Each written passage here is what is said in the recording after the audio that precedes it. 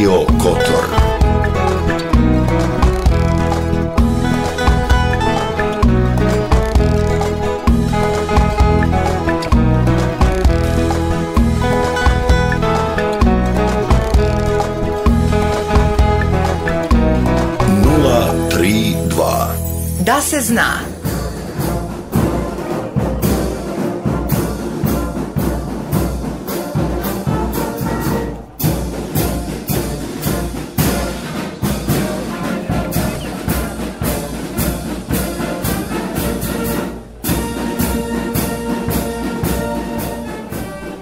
Slušalci, dobar dan još jednom iz studija Radio Kotora. Dobrodošli u još jedno izdanje emisije 032. E, Gosti su nam učesnici upravo završenog zimskog kotorskog karnevala. Aleksandra Tomović, urednica programa za mlade kulturnog centra, e, Boris Radović, e, pojedinačno najbolja maska na maskembalu, direktorica javne preškolske ustanove Radost Kotor, Vjera Rašković i e, ispred Doma starih e, Risan, e, maska računajte na nas, Petar Pajković, dobrodošli u Radio Kotor. Evo na početku ću e, podsjetiti da je velikom karnevalskom povorkom, glavnom gradskom saobraćajnicom, suđenjem i spaljivanjem karnevala u Kotoru u nedjelju su završene zimske kotorske karnevalske fešte. Na posljednji džir montanjara su pratile Bleh muzike iz Đenovića i Kotora, mažoretke fešte, Alise i Lili iz Herceg Novog, Infinity Dance Studio, tu su bile karnevalske grupe Karampana, Zadišpet, Kosmopolitanke, Lastovski karneval, djeca iz vrtića Radosti i Osmijeh, Univerzitet umjetnosti iz Beograda, Dom starih iz Risna, Teatar 303, Maškarane grupe Kotorske gimnazije, Pomorskog fakulteta i Kotorskih osnovnih škola, a slavni sud je na trgu od oružja osudio Đudića Ultima Montanjara, krivca za sve nevolje koje su Kotor snašle u prošloj godini, naravno tradicionalno spaljen je na Maceu, a e, fešta se potom preselila na glavni gradski trg uz Tererose i Gorana Karana.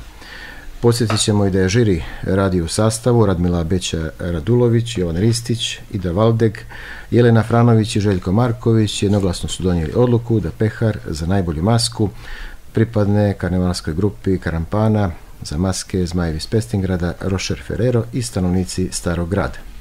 Pehar za drugo mjesto dobila je karnevalska grupa za Dišpet sa maskom e, Vidi Veneciju i umri, Vidi Kotor i živi. Kosmopolitanke sa maskom Egzotično putovanje osvojili su Pehar za treće mjesto, prelazni Pehar, karnevalska grupa za Dišpet ove godine predale Karampani. Pehar za najbolju masku sa 660 učesnika dobila su djeca javne preškolske ustanove Radost, a organizator, kulturni centar, odlučio je da im dodijeli i specijalnu nagradu u iznosu od 500 eura. E, Da kažem i to da su pehari za doprinos ovogodišnjem karnevalu e, dodijeljeni privatnom vrtiću Osmijeh, osnovnoj školi Njegoš, Veljko Drobnjaković iz Risna, e, školi Nikola Đurković iz Radanovića, Ivo Vizin sa Prčanja, Univerzitet umjetnosti iz Beograda, Domo starih Grabovac iz Risna, gradskim muzikama e, Đenovića i Kotora, gimnaziji Kotor, Pomorskom fakultetu i teatru ti- 303, a specijalne nagrade organizatora u vidu izleta dobili su učenici Kotorske gimnazije i Prčanske osnovne škole, a štićenici Doma starih iz Risna na poklon će e, dobiti koncert. Najboljoj masci u kategoriji pojedinačnih na festivalu Gospodari Tami dodijeljen je i pehar na karnevalu. Program je vodila e, novinarka Dušica Vugdelić, organizator e, tradicionalnog zimskog kotorskog karnevala, javna ustanova Kulturni centar Nikola Đurković Kotor, e, suorganizator turistička organizacija opštine Kotor, partner u organizaciji NVO Fešta Kotor, a pokrovitelj opština Kotor. Evo, Aleksandra, nekako počnemo sa vama kao urednicom programa za mlade kulturnog centra, bili ste involvirani u cijelu priču od karnevala. Kako gledate na upravo završene fešte, kakve su kritike koje ste čuli, naravno vaša ocjena ovogodišnjeg Kotorskog zimskog karnevala? poštovanje prije svega i hvala vam na pozivu. E, Kulturni centar je imao ovako da kažem jedan prilično zahtjevan zadatak s obzirom da se tradicionalni zimski kotorski karneval održava već više od pola milenijuma. Morali smo da opravdamo ovaj, da kažemo tu tradiciju da budemo na zadatku. E, vi- Više od dva mjeseca je trajala sama priprema ovaj, karnevala. Ono što je nama ove godine bio prioritet i meni kao urednici programa za mlade jeste da probamo da uključimo što više mladih sugrađana, da nekako pokušamo da produžimo tradiciju što nam je obaveza. Ja mogu reći ja sam prilično zadovoljna s obzirom da je bio onako dosta dobar odziv osnovnih škola. Imali smo i ovo odjeljenje Kotorske gimnazije, a veliku zahvalnost dugujemo Kotorskim vrtićima koji stvarno izašli u impozantnom broju i ove godine. Što se tiče samih utisaka, komentari su različiti. E, vidim ovaj, da onako ima dosta komentara sugrađana po društvenim mrežama, ali ja pozivam sve da ovaj, u nekom narednom periodu ne učestvuju na karnavalu tako što će lajkovati ili šarovati neku objavu, već da onako svojim kostimom i nekom svojom idejom budu dio ove tradicije i da na taj način probamo da podstaknemo taj karnevalski duh koji traje već, kao što smo rekli, više od pola milenijuma u našem gradu. Koliko je ovaj karneval bio lajkovan i šerovan, što kažete? pa bio je prilično lajkovan i šerovan. Ovaj, e, samo kažem, ja bih voljela da su ti ljudi bili fizički ovaj, prisutni u samom gradu, prije svega naši e, sugrađani. Ovaj, što se tiče ljudi sa strane, mislim da uvijek imamo neki, da kažemo, konstantan broj ljudi koji dođu da ispoštuju ono što je dio naše tradicije, ali bih voljela da vidim i neka poznata lica ovaj, iz Kotora. E, što se tiče posjete, ste zadovoljni? Koliko je bilo posjetilaca? Jesmo, ovaj, što se tiče, e, to već ne znam, cifre, cifre su mi ovaj, slaba tačka. E, što se tiče i učesnika i što se tiče kasnije ovaj, posjećenosti publike na trgu od oružja, s obzirom na izvođače koji ste pomenuli, ovaj, mislim da je to onako jedan pristojan broj, ali kažem, iz godinu u godinu može bolje i nadam se da ćemo napredovati u tom domenu. Karnevalu je prethodio i maskembal, Imate li tu neke možda zamjerke? Ili... E, pa imam želje, ako je moguće. Ovaj, e, onako pratimo naravno kako to radi susjedni gradovi pa vidim ovaj, da grad do nas ima četiri zimska maskembala. Ja se sjećam kad je nekad u hotelu Fjord bilo minimum dva dječja i dva maskembala za odrasle. E, činjenica da ovaj, malo ovaj, je to zatajilo. ali ajde, ajde da se nadamo da je to samo privremena neka pauza. I da Koliko je prostor u, u poslovnom centru Vukšić e, odgovorio ovaj, zahtjevima jednog maskembala kao što je Kotorski? Pa, ne možemo da biramo. to, to, je moj ovaj, lični, lični komentar. E, mi smo možda navikli na neki drugi prostor, ovaj, ali to nam ništa ne. E, pomenut ću našim slušalcima uobičajene telefone da ako imaju nešto da pitaju naše današnje goste su 032 325 842 i 325 843. Boris Radović, Čuli ste e, maska gospodar Tame, pojedinačna najbolja maska na maskembalu. Boris, koliko se dugo maškarate i kažete nešto o inspiraciji za, za ovu masku? E, dobar dan, prije svega pozdrav e, slušalcima. Pa mi smo već u tome dobrih 20-30 godina otprilike. Od kad smo počeli prvi put da se maškaramo, kad smo bili djeca, pa u, evo do dana današnjega bilo je tu preskakanja, ali u principu svaki, skoro svaki smo karneval, maskebal ispratili. Doduše u grupama, u pojedinačnoj masi. U zadnje vrijeme smo počeli pojedinačno se oblačiti zato što u principu ne možemo da se skupimo svi iz moje grupe, ali mi smo pokušali da napravimo to i da održimo tu tradiciju i da krenemo u, u, u tu neku samostalnu porodičnu, što bi rekla Dušica, porodičnu ovaj, misiju, kako bi se reklo.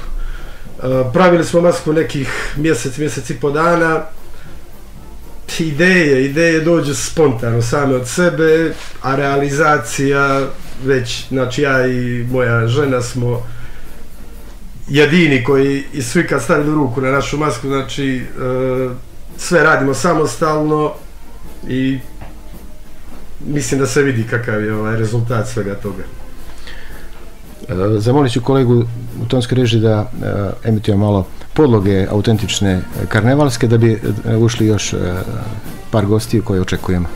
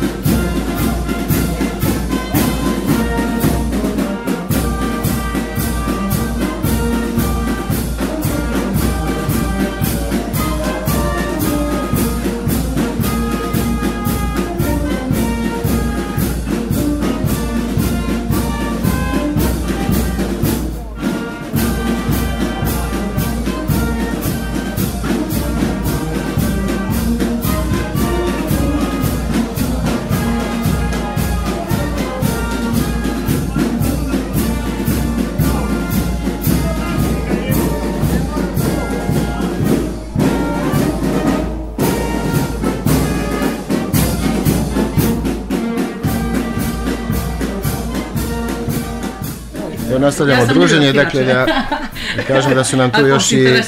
Ljubinka Popović iz eh, Maska egzotično putovanje, treće nagrade na Karnevalu i Maskenbalu i eh, Ljiljana Gojković, eh, kosmopolitanke, dobrodošle u emisiju. E, Evo samo da se snađem, dakle e, stali smo tu sa e, Borisom, tako pojedinačna najbolja maska na Maskenbalu. Idemo onda dalje da krenemo i do direktorice javne predškolske ustanove Radost e, Kotor Jera Radović, e, Rašković, e, Pehr za najbolju masku, 660 učesnika, dobila su djeca iz Radosti, organizator je, kao što ste čuli, dodijelio specijalnu nagradu, 500 eura. Vjera, bilo je to svakako veličanstven prizor za sve koji su vidjeli kako ste se pripremali i animirali tolike roditelje i djecu da se maškaraju u velikom broju. Sve slušalce Radio Kotora i jedna ispravka, Vjera Rašković-Perojević. Izvinjavam se. Evo, nećete mi zamjeriti.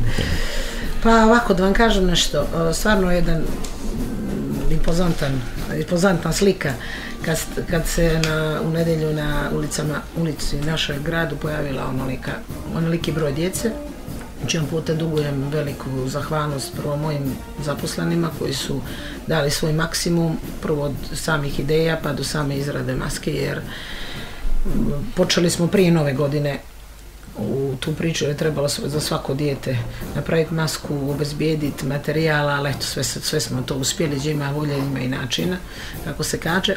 A naravno dugujem i roditeljima jednu veliku zahvalnost, pogotovo jer ove godine smo, kao što ste primijetili, bilo je malo početak same naše e, povorke, su bile djeca koja su u, polaznici jaslica. Da su bile djeca od jedne do tri godine, i roditelji njihovi su se vrlo rado odazvali i učestvovali u izradi. I e, dali isto svakako svoju podršku na tome i bili onako saradljivi i presretni što smo uspjeli svi zajedno da se organizujemo i da izađemo u tolikom broju. I što smo mi prošle godine isto bili samo, ajde da kažem, u manjem broju, ali smo e, prošle godine na, nakon završene karlanske povorke e, članovi karlovarske grupe Karampana su nam proslijedili njihov pehar i mi smo tada dali obećanje da ćemo za sljedeću godinu biti brojni i bolji. Tako da se nadam da smo ispunili to obećanje i ta njihova očekivanja. Ovim putem se još, još jedan put zahvaljujem na tom njihovom gestu.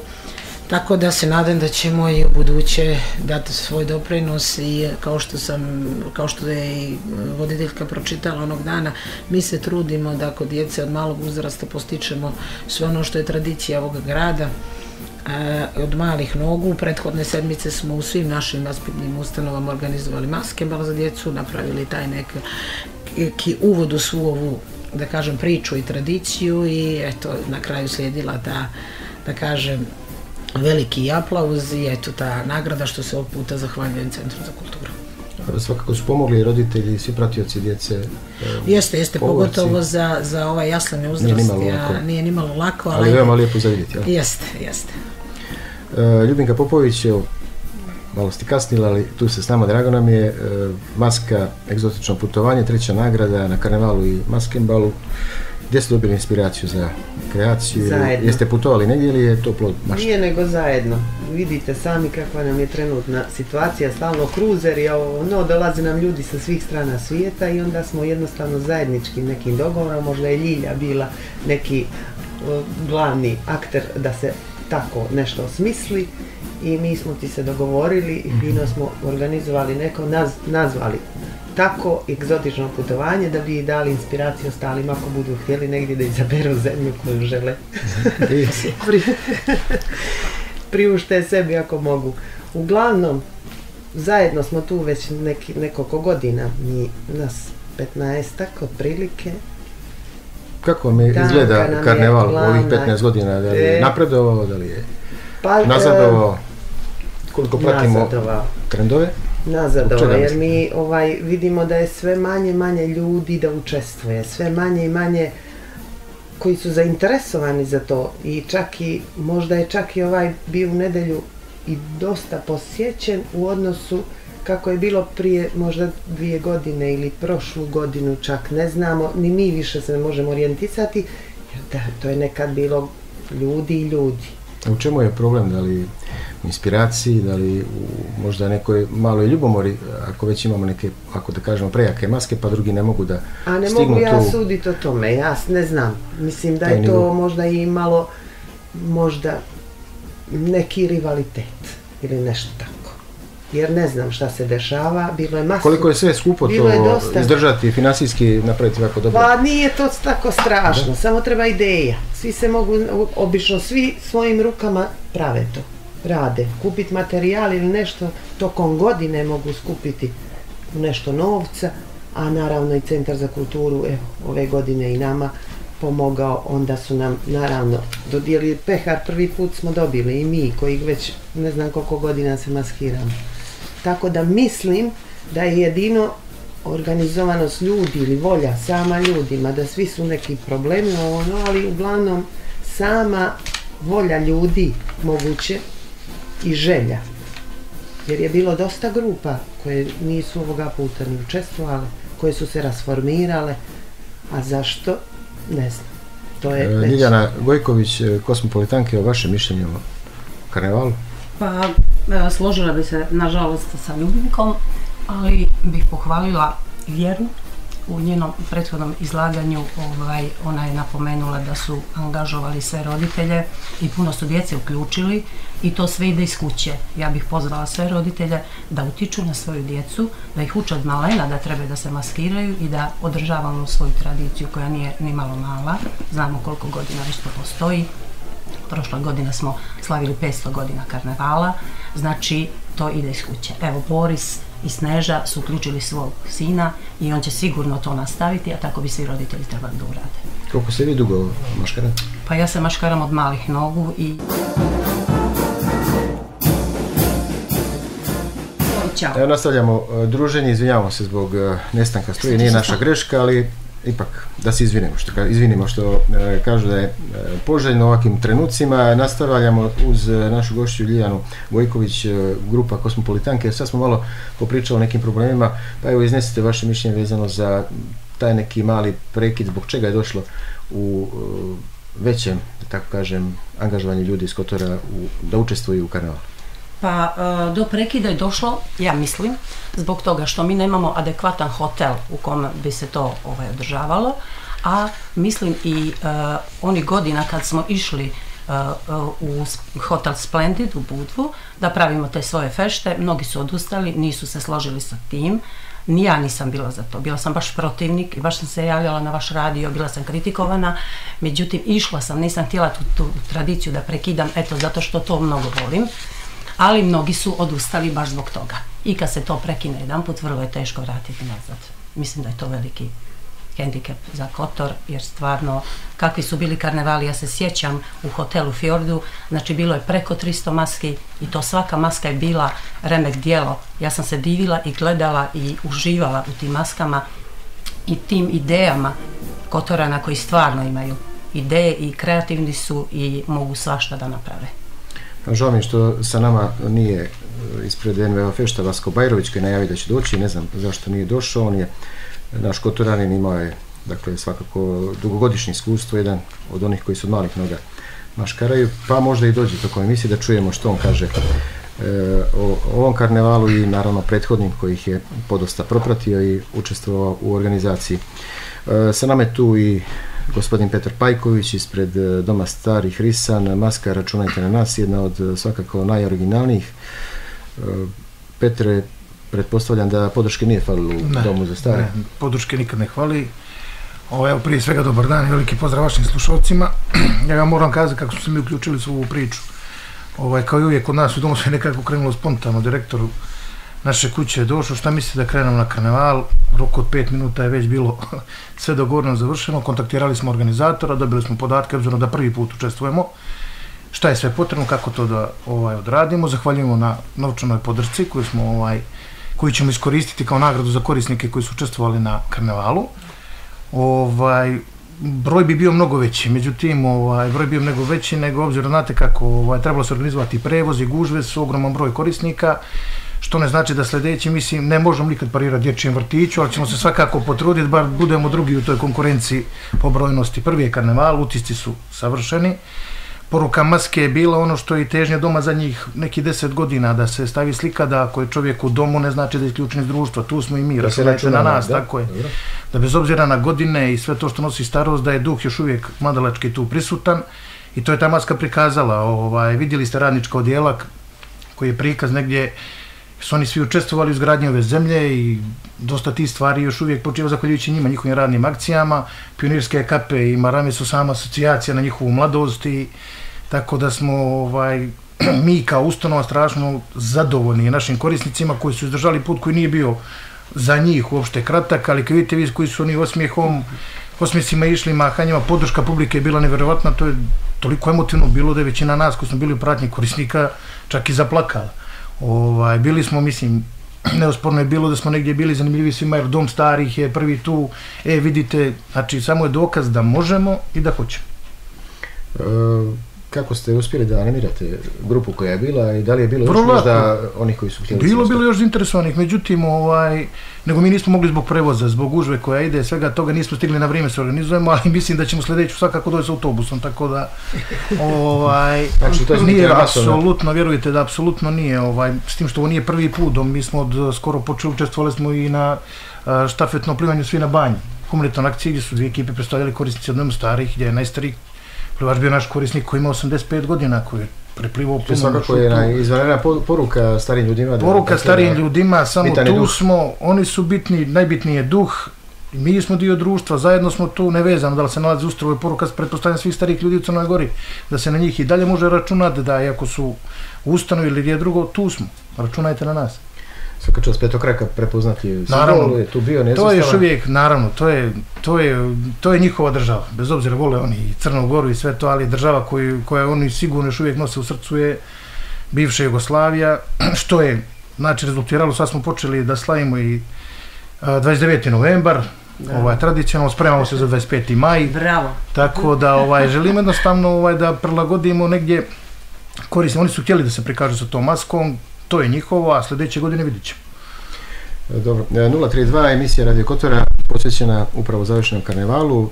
Aleksandar Tomović, e, ponovo smo sa vama, urednica programa za mlade kulturnog centra. E, Kada uporedite ove karnevale u okruženju, evo vidimo Veneciju, Brazil, niz ostalih evropskih zemalja, znamo da Kotor ima petovjekovnu tradiciju u tome. Gdje smo u ovoj suštinskoj priči, gdje vidite mogućnost za podizanje kvalitete? E, prije svega, e, ono na što se mi stalno pozivamo, to je tradicija. I to je nešto što niko ne može da nam oduzme, kao i taj karnavalski duh koji posjeduju naši građani. E, Mi smo vidjeli ovaj, da znači, mnogi gradovi i regioni koji do skoro nisu imali karnaval, tek sad kreću sa ovaj, da kažem, tim nekim karnavalskim feštama i mislim da od nas mogu samo da uče. Ovako možda malo gordo s naše strane, ali vjerujem da je tako.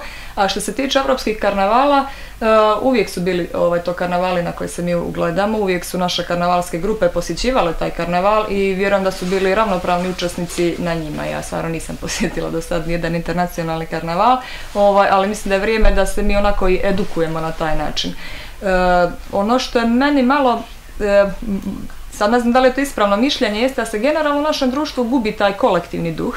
Ovaj, počevši od nekih znači, svakodnevnih zapažanja, ovaj, vidimo da se nekako ide ka nekoj individualizaciji, ili to neka posljedica upotreba tehnologije, ovaj, ili jednostavno takvog načina razmišljanja, pa se plašim da u nekom narednom periodu malo ćemo izgubiti ovaj, taj neki kolektivni duh i kolektivni obrazac na kojem je počivalo naše društvo dugo vremena, ali vjerujem da ćemo uspjeti barem za karnaval nekako ovaj, e, da se ujedinimo i da imamo neke onako veće karnavalske grupe, da to neće biti samo neki onako usamljeni individualni pokušaj. A smatrate li da neka financijska potpora grupama malo veća bi možda e, bila pozitivna u smislu, u tom upravo smislu omasovljenja karnevala? E, svakako, već nekoliko godina unazad se radi na tome, ovaj, kada je riječ o karnevalu, ovaj, da spomenem Boklijsku noć koju također mi organizujemo ljeti, e, znači koliko smo u mogućnosti, ovaj, mi izlazimo u susret karnevalskim grupama i dajemo određenu financijsku pomoć znači prije ovaj, samog karnevala, E, a sad to već nije ni na samom kulturnom centru, ovaj, već i na politici, znači na nivou opštine i znači odnosu na to koja sredstva mi dobijemo ovaj, za karneval i za programe uopšte. E, koliko ste zadovoljni podrškom sponzora? E, pa onako, prilično smo zadovoljni, uvijek može bolje, ali tu, tu su da kažem manje više uvijek uh, iste ovaj, iste Spomenut ću ih ja da se ne bi prisjećali, da spomenemo Crnogorska komercijalna banka, Meridian DMC, javno komunalno preduzeće Kotor, Pomorski muzej Crne Gore Kotor, Tujko DO, Kotorska suvenirnica, Hostel Old Town, vodovod i kanalizacija Kotor, Cafe Bar Siempre, Riva Printi, Kotorska brijačnica i naravno podosta medijskih e, sponzora. Pristiglo je na pitanje, možda bi ovako najbolje bilo da vi odgovorite na njega. U sve pohvale za rad i organizaciju neophodno je da se ukaže na veliki propust. E, Kako to da povodom 500 godina karnevala nije pokrenut postupak za izdavanje jubilarne poštanske marke 500 godina karnevala u Kotoru. Znamo da je festival u Riju za 450 godina štampao markicu koja samim tim obiđe cijeli svijet, a susjedni Herceg Novi za 50 godina praznika Mimoze. Pozdravili bi inicijativu organizatora karnevala u ovom pravcu. Što mislite o ovoj inicijativi? Pa hvala na predlogu. E, Iskreno nisam upućena baš ovaj, u, u taj dio, ovaj, ali svakako konstruktivan predlog i mislim da je vrijeme da i mi u kulturnom centru porazgovaramo o tom. E, Boris Janko e, Radović, e, ponovit ću, dakle, još gospodar Tame. Možete li porediti, dugo imate iskustvo u maškaranju rad na pojedinačnim, odnosno na grupne maske? Uh, pa št- na grupnih mas, što se tiče grupnih maski, uh, rad je više ovako malo, uh, više je druženja, više je, više je, ekipa se uz rad zabavlja, znači to je stvarno neki, neki, neki drugačije nego kad se radi pojedinačna maska, znači ljudi se okupe i rade i za, u zavisnosti ako imaju vremena ili nemaju vremena, uglavnom poklapaju jedan drugoga i sve se radi u, u, u, u društvu. Dokle je već pojedinačna maska drugačije, znači mora biti kvalitet i mora biti, ovaj, doduše mi se porodično ovaj, oblačimo pa je to sve u kući i tako. E, ali što se tiče grupna maska, grupna maska je više druženje i više i ono što u stvari fali u Kotoru, znači fali ti grupnih maski koje iz svog nekog razloga ne dolaze na karneval, ja neću da ulazim u to. Ovaj, imam ja svoju grupu i znam koji su razlozi, više su porodičnih problema i tako, ali nije, nije, nije bojkot jednostavno karnevala, a za druge neću da ulazim i neću da pričam uopšte o, o tome zašto neće da se oblače.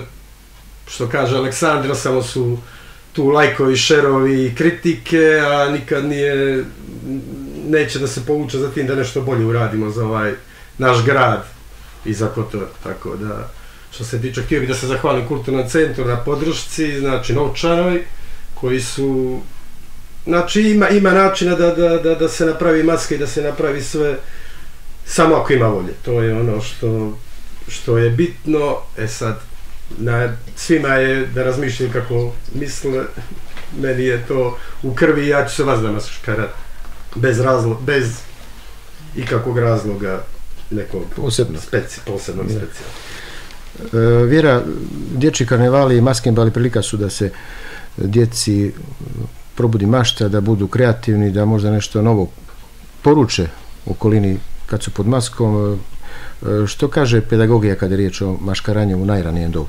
Pa to je, to je, kažeš kako vam kažem, kaže da je to dobra stvar, jer podsticanje djece, kojeg djece maštu u tom, toj dobima je jako bitno za stvaranje lično, sve do sedme godine što uradite sa djetetom, to je osnova za kompletnu njegovu, za kompletan budući život i za njegovu ličnost, tako da, a nama je glavni moto da postičemo i maštu i kreativnost i da imaju, da se djeca susrećuju sa raznim materijalima, što od čega se sve može napraviti, najviše koristimo prirodnog materijala, to nam je negdje i u planu i programu koju, eto sad se ulazimo u tu struku našu, ali e, tu se vidi i tu djeca mogu da vidi što, se, što sve mogu iz onoga što nam sama okolina pruža, a ne moramo puno da uložimo. Tako da u svako, sa dosta aspekata ovaj karneval može da utiče naravno dobro na dijete.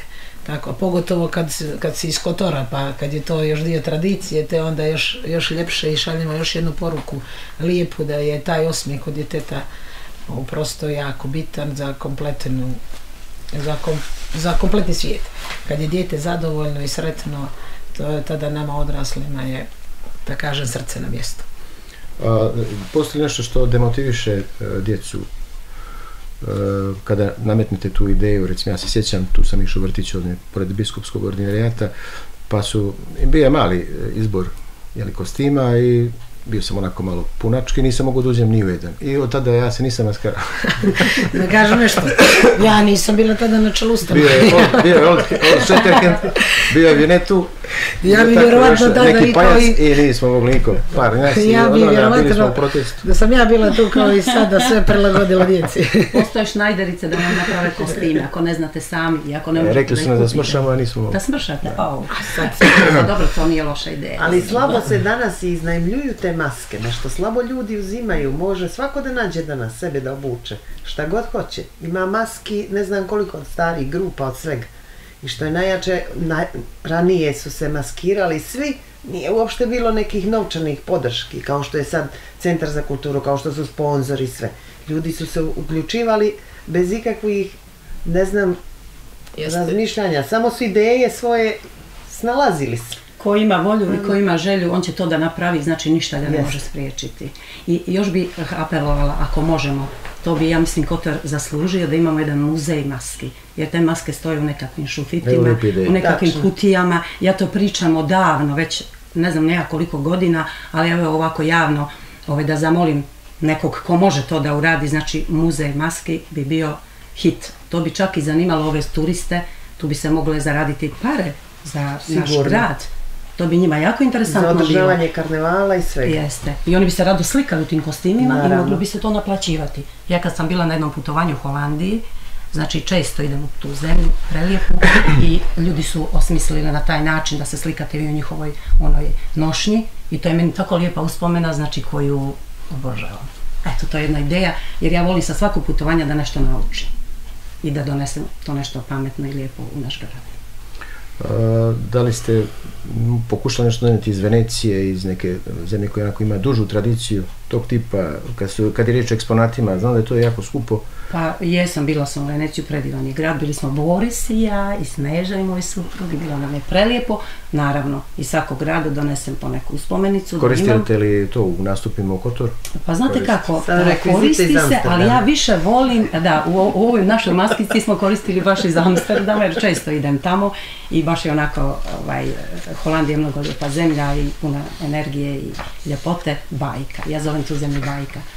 I volim da donesem nešto lijepo, a na kraju krajeva služi mi kao inspiracija za nešto. Jer e, nisam za to da se kopira nešto, nego da nešto bude inspiracija i da sam doneseš tako neku idejicu lijepu da se to realizira.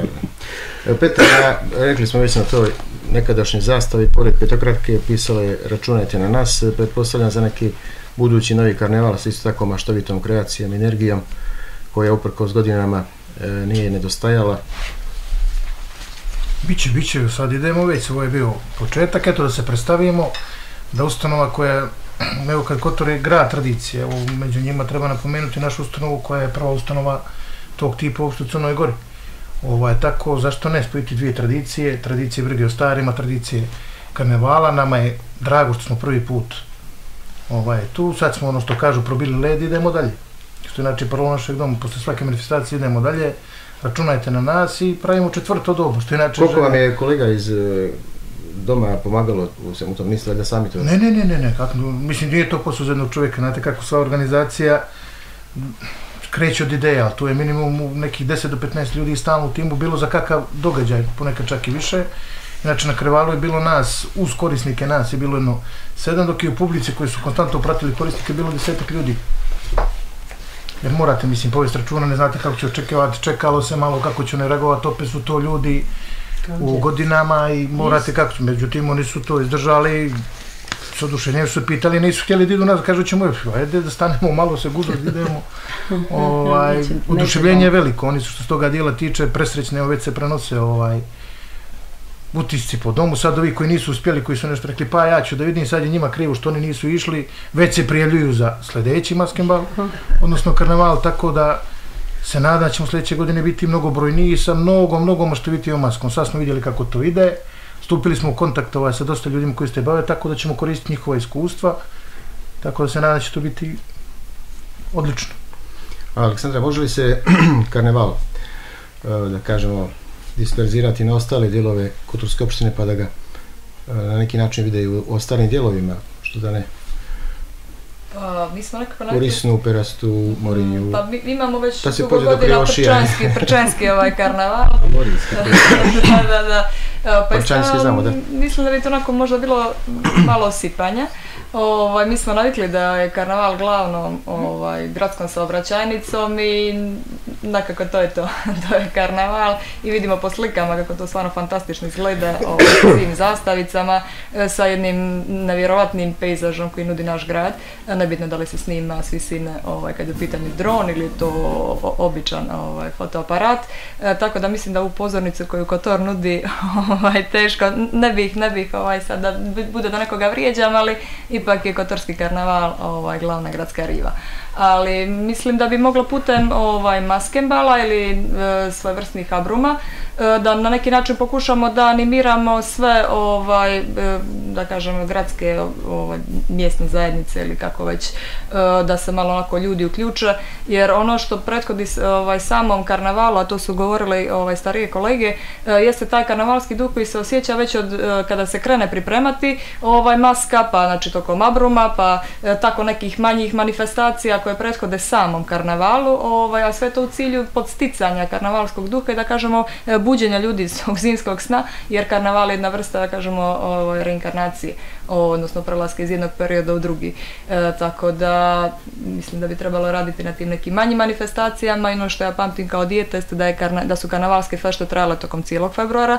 Ovaj, nama se nažalost, znači zbog jednostavno takve, da kažem, takvog odziva, ovaj, smanjio karnaval na nekih 7 do 10 dana, ovaj, ali vjerujem da da bi trebalo o, na- naći načina, a sve u saradnji sa sugrađanima, da se malo ovaj, proširi taj, taj vremenski okvir o, što se tiče samih karnavalskih fešti. Jer karnaval je kruna ovaj, karna, e, karnavalskih fešti i to je samo jedan dan, ali karnavalske fešte su ne- proces koji traje mnogo, mnogo duže ovo, nego sam. Ispoštovani ovaj, jeli, religijski segment eh, prije, odnosno posta, karnevala i mesojeđa. E, je, mislim, karnaval pripada paganskoj tradiciji. Ovaj, ja ne bih miješala ovaj, crkvu i državu. Eto, posljednjih godina gledaju ovaj, ljudi da ispoštuju jedno i drugo, da se niko ne ljuti, tako da, kao i drugi karnavali u regionu, eto, mi smo izabrali taj 3. mart ove godine da ispoštujemo svoj. E, Koliko je karneval u turističkoj ponudi afirmisan kroz nastupe turističke organizacije, možda i uopšte turističke ponude cijele Crne Gore? E, Pa dobro, što se tiče turističke ponude, to bi neko od njih trebao da odgovori. Mi se više ovaj, bavimo kulturnom ponudom. E, tako da li ste vi zadovoljni iz kulturne ponude, koliko je to afirmisano? Pa jesmo, ponudi? jesmo. Ovaj, možda bi trebalo, opet ponavljam, neki drugi vremenski period ovaj, prije samo karnavala iskoristiti za neku medijsku najavu i promociju, o, pa na greškama učimo polako iz godine u godinu. E, lagano se približavamo kraju današnjeg druženja. Evo da poručimo možda nešto onima koji se ne maškaraju, koji se još misle e, da li da, da nastupe na karnevalu. Što biste ovo rekli vi onima koji se do sad nisu maškarali, a Pa, možda, e, možda ne, neki ja, potencijal ja bi, u tome? Ja bi prvo prije svega htio da, da, da se obratim ljudima koji su se maškarali, a iz njihovih razloga neće više da se maškaraju, to trebali bi da se vrate i da učine ovaj kotor e, pravi, znači da bude karneval pravi, da se to ne svodi sve na dvije, tri grupe.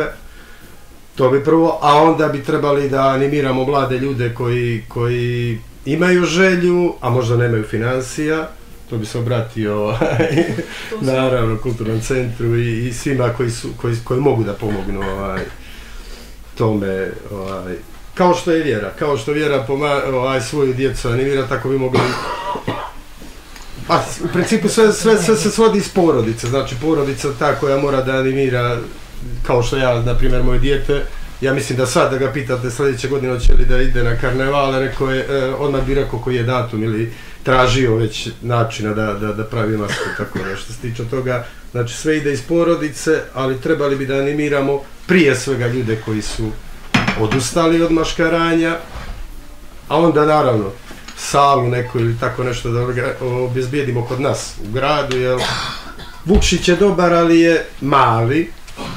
I nas 30 maski što smo, 40 što smo bili na taj maskembal je koji su bile vrhunske, smo se gužvali, znači mali je, svaka čast njima, ali trebali bi mi da malo razmišljamo o nečem malo većem. Vjera, zbog čega se treba maškarati od malih nogu?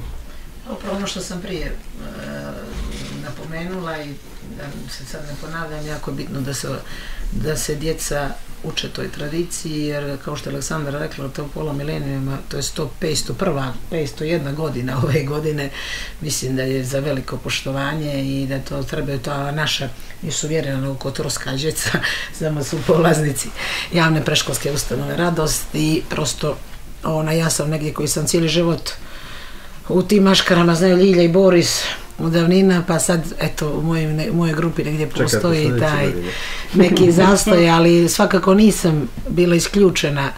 Ovako dala sam svoj doprinos i preko ustanova, znači sam čelu, tako da se nadam da ću tako i buduće i da e, nastavim, ali eto jedna mala, da kažem, sugestija ili da kažem kritika organizatoru, to moram da ponavljam da smo buduće, s obzirom da je bio onoliki broj djece i kašnjenje karnevala je prosto malo e, uticalo e, loše na to jer su se djeca uzne, uznemirila i tako da u buduće bi eto apel da kad to, ako, ako je rečeno u tri sata da se krenu u tri sata i tom nekom koji je kontrolisao i vodi i slagao povorku prosto ta roda nam je napravila negdje jedan pro- problem jer nam je roda bila postavljena na polovinu tako da taj dio koji je išao pripadao je nama prosto je to ljudima izgledalo kao da nije dio javne preškolske ustanove radost.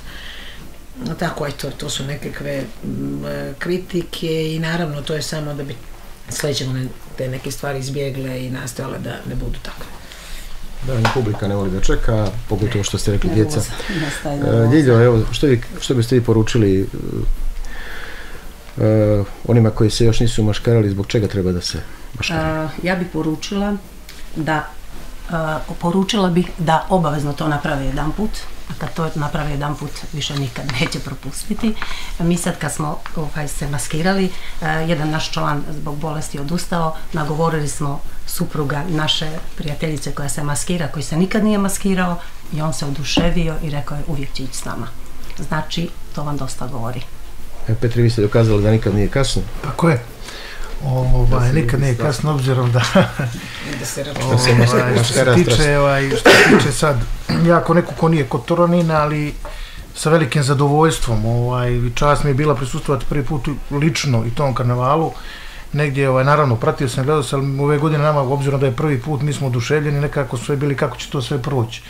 Ali tradicija koju Kotor posjeduje preko 500, 500 godina, ovaj, kad nekom to pomenete, neko pita, pa dobro sad, to je 500 godina tradicije koju treba nastaviti. Vjera je na odličnom putu, naravno treba, moje dijete, neko ide sa velikim zadovoljstvom učestvovali, stalno će učestvovati. Ovaj, slažem se sve to dosta pozitivno utiče na samo dijete, na stvaranje tog nekog kreativnog duha. Dom starih će naravno, evo, krenuli smo, mi ćemo dalje nastaviti, nadamo se da ćemo i mi negdje nekad u nekoj emisiji kazati, evo ga, 50. jubilarni ili 100. jubilarni put da su korisnici Doma starih ovaj, prikazali svoju masku i učestvovali u Kotorskom karnevalu. Tako je ovako, svim vašim slušalicima, nikad nije kasno, dokaz to naši stanari, za sve postoji prvi put, pa ako nije, evo, sljedeća godina je tu, da bude što brojniji organizatorima da, eto, da im bude mnogo lakše, da imaju mnogo više finansijskih sredstava zbog same stimulacije i svega, tako da, to je to. Ja se zahvaljujem na razgovoru i izdvojenom vremenu za emisiju 032 i što smo ovako porazgovarali o karnevalu, o utiscima i našim slušalcima da e, ponovim da su naši gosti bili e, urednica programa za mlade kulturnog centra Aleksandra Tomović ispred e, karnevalske grupe Kosmopolitanke Ijana Gojković, Boris Radović ispred e, maske Gospodar Tame, e, Vjera Rašković-Perojević, direktorica javne preškolske ustanove Radost e, Kotor, Ljubinka Popović, maska Egzotično putovanje i ispred Doma starih Risan, računajte na nas, maska Petar Pejaković, e, repriđa emisije, možete slušati Pajković, izvijem se, večeras od 20.30, e, našim gostima još jednom hvala i uživajte uz ostale programske sadržaje Radio Kotora. Hvala i vama i svi na fešte.